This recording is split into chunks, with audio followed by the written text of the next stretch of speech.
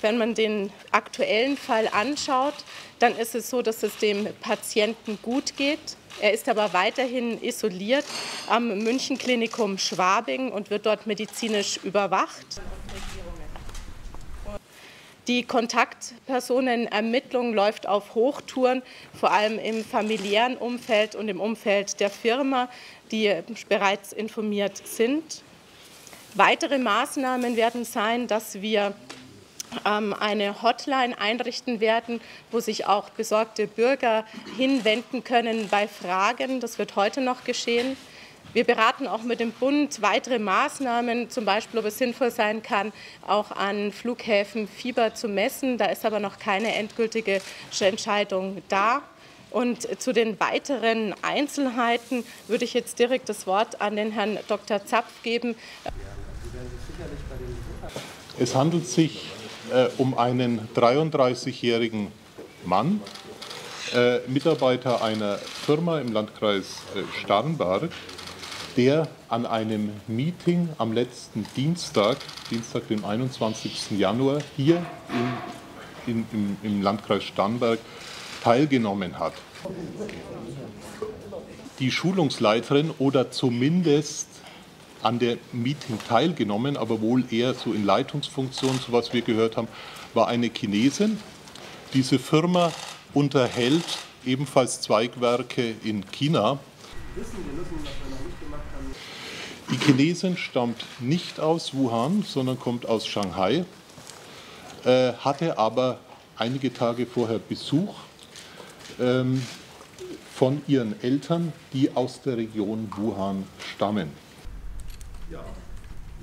Sie hat sich dann auf dem Heimflug grippig gefühlt oder krank gefühlt und hat sich, ging dann in China in ärztliche Behandlung. Und dort wurde ein, eine Testung, eine Diagnostik auf Coronavirus vorgenommen, die positiv war. Und zu den weiteren Einzelheiten? Einmal äh, ist ja eine Testung empfohlen, wenn man äh, klinische Symptome hat und einen Aufenthalt in der betroffenen Region hat oder wenn man klinische Symptome hat und Kontakt mit einem Erkrankten oder jemand, der mit Coronavirus äh, kontaminiert ist, befallen ist, hat. Daraufhin wurde also äh, eine Diagnostik gestern Nachmittag vorgenommen. Daraufhin wurde gestern Abend entschieden, dass der Patient in stationäre Behandlung geht. Er selbst, also die Klinik an und für sich, hätte eine stationäre Behandlung jetzt nicht zwingend erforderlich gemacht. Er ist ja am Montag früh auch schon wieder am Woche, äh, zur Arbeit erschienen. Aber es erschien uns sinnvoller und es erscheint mir absolut sinnvoll und notwendig, dass er jetzt hier klinisch überwacht wird. Es ist eine gewisse Isolationswirkung natürlich da. Zum Zweiten aber ähm, äh, haben wir ja doch bei der Behandlung, bei der Therapie von Patienten mit Coronavirus in Deutschland relativ wenig Erfahrung und daher erschien es uns sinnvoll, wenn dieser Patient stationär überwacht wird. Ja, dem Patienten geht es sehr gut. Ich habe ihn äh, heute Morgen mit meinen Oberärzten visitiert. Äh, der Patient ist wach, ansprechbar, ähm, ist fieberfrei, hat äh, keine Atemwegssymptomatik ähm, und äh, man kann sehr gut mit ihm Kontakt aufnehmen und sich ganz normal mit ihm unterhalten. Die Isolierstation halten wir für, insbesondere für Patienten mit hämorrhagischem Fieber vor, also Ebola als Stichwort.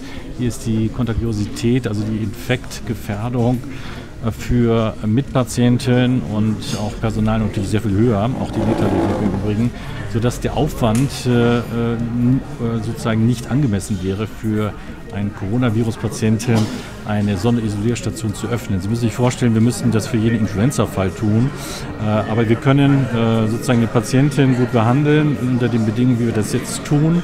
Wir können Mitpatienten schützen, wir können Pflege und äh, ärztliches Personal ebenso schützen. Das ist völlig ausreichend. Wenn natürlich Kontaktfälle symptomatisch sind, dann sind die äh, zu isolieren. Das heißt nicht zwingend in der Münchenklinik Schwabing. Da ist auch eine Notaufnahme im Starnberg in der Lage. Da gibt es auch internistische Kliniken in der Region. Also äh, das ist äh, eine, eine bayerische Aufgabe, wenn Sie so wollen. Wie wird der Patient jetzt weiter behandelt? Der Patient äh, erhält konkret äh, zurzeit äh, freie Flüssigkeit, wie wir das nennen. äh, inhaliert regelmäßig, um sozusagen auch die Atemwege freizuhalten. Er hat keine äh, Antibiotika äh, über die Vene ähm, und das ist auch nicht notwendig. Es erfolgen regelmäßige Blutentnahmen, um den Infektverlauf natürlich zu monitorieren. Kann man schon sagen, ähm, wann der Patient dann als geheilt gelten könnte? Das ist eine Antwort, die ich Ihnen momentan nicht geben kann. Aber ich würde sagen, ähm, das wird sich innerhalb weniger Wochen abspielen. Das wäre eine Schätzung.